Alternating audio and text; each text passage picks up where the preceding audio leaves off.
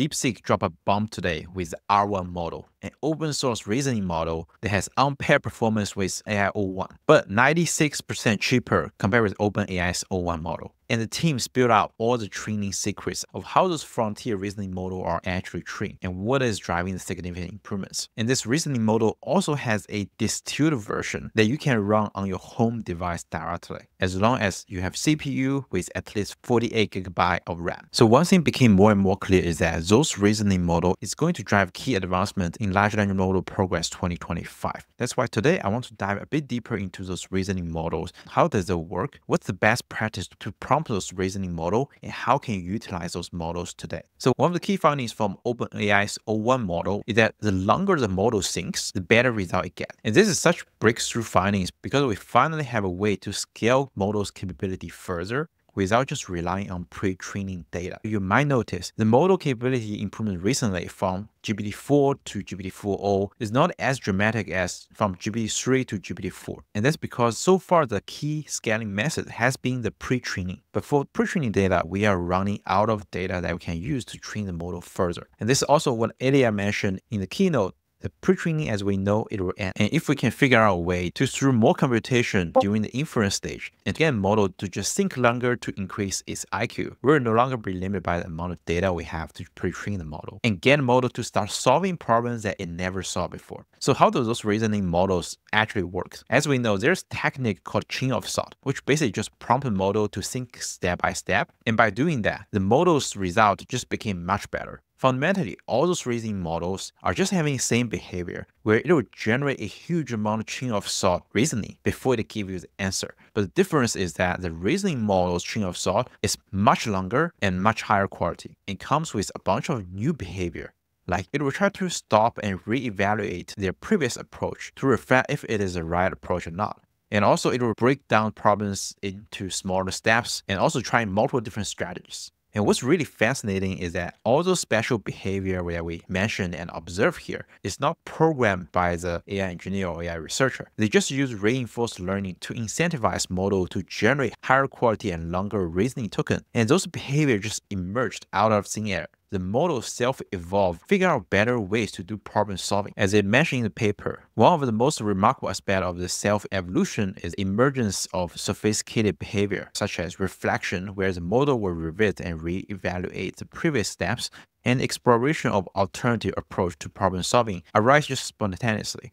Those behaviors are not explicitly programmed, but instead emerge. Another really interesting thing mentioned in the DeepSeek R1 paper is the distillation. Basically, with those reasoning models, since it can generate originally a high quality reasoning data, then we can use those reasoning data to train smaller model for very specific domain tasks. So knowledge distillation has been a pretty popular method where you will use a very large big model to generate training data to train smaller model on very specific tasks so that you can actually get a really good performance for certain domain tasks, even on edge devices like mobile phone. And they've successfully did it by using recent data generated by the DeepSeek R1 to train smaller model like Qwen. And this is also another reason why open source reasoning model like R1 is so exciting because previously OpenAI O1 model has been hiding all those reasoning tokens from the developers. And one of the key reasons I think they did that is otherwise they can take O1's reasoning tokens to either fine tune or do knowledge distillation to train their own reasoning models. So they has been preventing developers from getting those reasoning tokens. But now with DeepSeek, all those reasoning tokens is actually free and accessible for developers. So I think the knowledge distillation is actually going to be a pretty uh, big thing in 2025. I'm pretty keen to try and showcase some example workflow about how can we do that with those reasoning models. If you're interested, please leave a comment below. But even though those reasoning models are extremely powerful, not many developers are using those models in their large language model applications because it does comes with a trade-off in terms of cost and latency. That's why today I want to take you through a few best practice I saw in terms of how to prompt those reasoning models effectively to get the best performance out, as well as some agentic use case where you can deploy the reasoning model today. I read through a few different papers that dive deeper into this topic, as well as material from OpenAI and research from PromptHub. I'm going to summarize the key learnings for you in 10 minutes. The first prompting principle for those reasoning model is that you try to make your prompt simple and direct. A lot of prompt techniques that we used to use for model like GPT-4o or Claude 3.5 actually doesn't really matter here. In fact, in many cases, it contributes negatively for the result. There's one really interesting paper called do advanced large language model eliminate the need for prompt engineer, where they try to use similar prompting techniques that we used to use for model like GPT-4o on reasoning model like O1 and compare the results. And the finding is really interesting. So you can see that those techniques like few shot prompt, chain of thought critique, normally drive up performance for GPT-4o model. But when it goes to reasoning model, the best performing result is when you use zero shot, which means you just give the instruction. Any other techniques you start adding actually drive the performance down. This is probably the first kind of counterintuitive thing. When you prompt those reasoning model, try to make your instruction really direct instead of super detailed and explicit. And one example provided by OpenAI is that the prompt that we normally use looks something like this. It will give the task itself, but often will give very specific instruction about let's think step by step, don't skip any of the steps, do this first and do that next, and in the end do this. And we might also put a prefix like this to guide the response generation. But this type of prompt is not great for reasoning model. Instead, from what they found, for reasoning model, just keep it direct like this. Tell it what the task is and let it figure out the rest. So this is the first principle. The second principle is what I call one to two shot prompting. This kind of relates to the first one. When we use few shot prompt techniques with 4o model, we will normally try to give at least three to five different examples. But from different testing findings, when you give that many examples, normally the result is not that great. This is one chart from a paper called MedQA, where they found that the O1 model, when you do shot prompting with five different examples, the output will be actually lower than the minimal prompt. But from OpenAI's own guideline, they actually recommend you to use some kind of examples in the prompt, which they refer to as show the model how to do it instead of tell it what to do. And I think the key thing here is the number of examples. When you give O1 model just one or two examples, it actually doing great. But when you give more examples, the performance started great. And this is kind of aligned with OpenAI's own documentation. When providing additional context or documents, we should only include the most relevant information to prevent the model from overcomplicating its response. So this is second prompting techniques for those reasoning model that I found a bit counterintuitive. And third prompting techniques is that you can actually prompt those reasoning model for even more extended reasonings to get better performance. So as we mentioned before, one key findings for those reasoning model is that the longer those reasoning models think, the better performance. And this is one research where they test two different prompts. One type of prompt, it will tell the reasoning model to give very concise response where the prompt were including things like, I mean, emergency, speed is the most important thing, answer as quickly as you can. Whereas the other one is that take your time and think carefully. Spend as much time as needed to study the problem. And the result is, is that by prompting those reasoning models, it can lead to 16 to 30% more reasoning tokens as well as increasing accuracy in the result. So this is also something you can try to squeeze more performance out of those reasoning model. So those are some special things you need to be aware of when using those reasoning model. And as you can see, all those gained IQ from reasoning model has this trade-off of time and cost. And this leads to a key question, which is when should you use those reasoning models? But before I dive into when to use those reasoning model, I know many of you are trying to learn how to make practical use of AI and start your own venture. And this requires lots of in-depth practice and learnings of how to build production level large language model application. And that's why I built this community called AI Builder Club, where I share all the learnings and mistakes I personally have in terms of building large language model application and AI coding in production, alongside with practical examples take you through step by step as well as tips and tricks from industry experts interview. And most importantly, we have this growing community of top AI builders who might already experience the problem that you are facing today so that people can just come to share the ideas and get advice from each other. I have put the link in the description below so you can go and join the community today. Now, without further ado, let's talk about when to use reasoning models.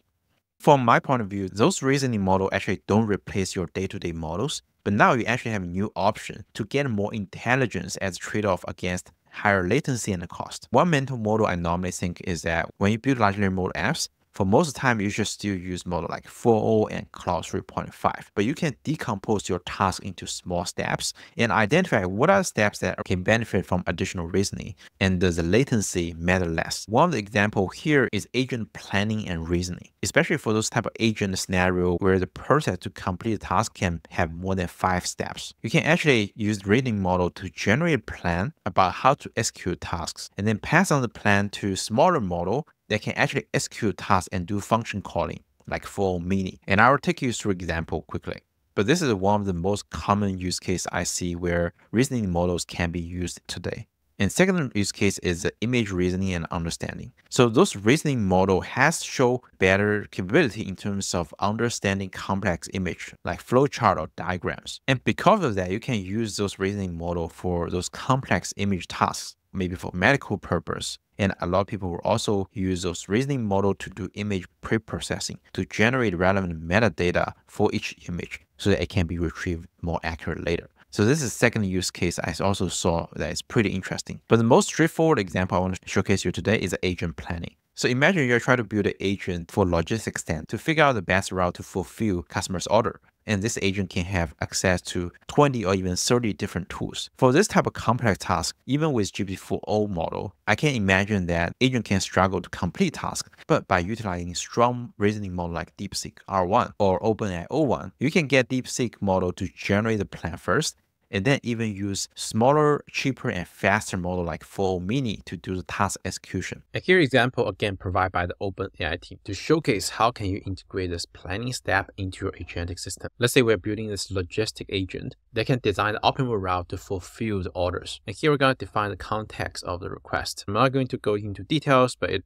covers things like what's the inventory for each item, what's order information, what are available suppliers, uh, stuff like that. So we can use those as more context when the agent calls certain functions. And here is the prompt for the planning step. So you are the supply chain management assistant. The first input you will receive will be complex tasks that need to be carefully reasoned through to solve. Your task is to review the challenge, create detailed plan to process customer orders, manage inventory, and handle logistics. You will have access to a large language model agent that is responsible for executing the plan that you created and return the results. The large language model agent has access to the following functions. So here we will list out all the functions and tools that the 4o agent actually has access to. And when creating plan for large language model to execute, break your instruction into logical step-by-step -step order using a specific format. The main action taken should be numbered, and sub-actions are letter like 1A, 1B, and specify conditions using clear if then else statements. And for actions that require using one of the above functions defined, write a step to call a function using backtick for the function name, ensure the proper input arguments are given to the model for instructions. And the last step in the instruction should always be calling the instruction complete function.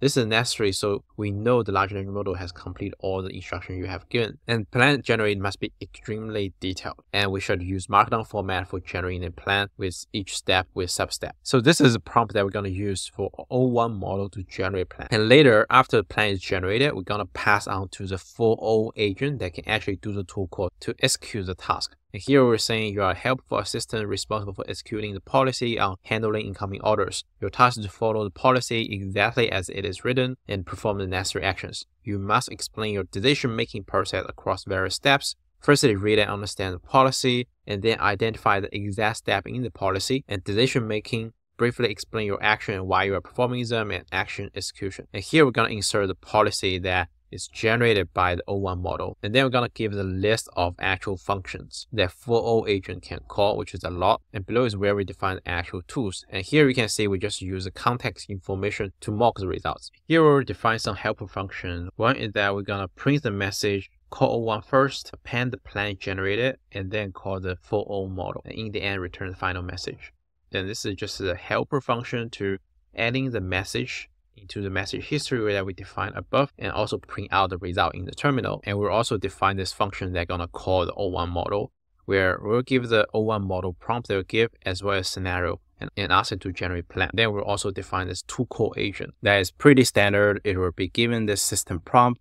If it is returned that it try to call the tool, it will try to run the tool until the function is instruction complete. Here you can see that OpenAI's notebook didn't really rely on tool calls uh, finish reason to identify whether the task has been completed, but instead they make it very explicit. In the O1 model prompt, the last step has to be calling this instruction complete function so that uh, we know large language model has completed all of the instruction you have given. So I guess this is probably part of the practice they found that works better if you ask a model to explicitly calling out that all the instruction has been completed and followed. And then we're going to ask the agent to execute.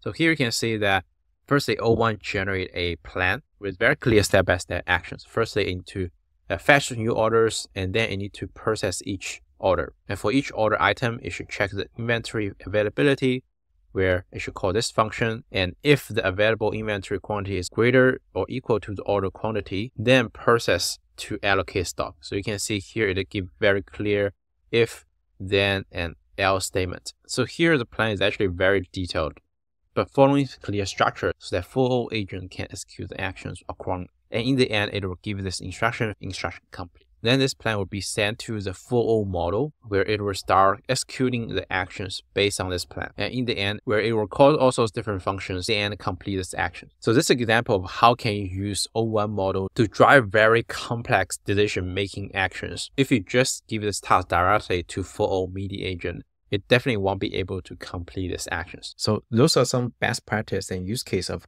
how to fully utilize those thinking models in your large language model applications. I will continue posting interesting learnings and projects I'm doing in a community I'm building. It has loads of content about AI coding and how to build agents and large language model applications, as well as insights from industry experts. But most importantly, you have this community of top AI builders who might already experience problem that you are facing today. So you can just come here and ask any question you have where myself and other community members can just come and give advice. I have put the link in the description below. If you enjoyed this video, please like and subscribe. Thank you and I see you next time.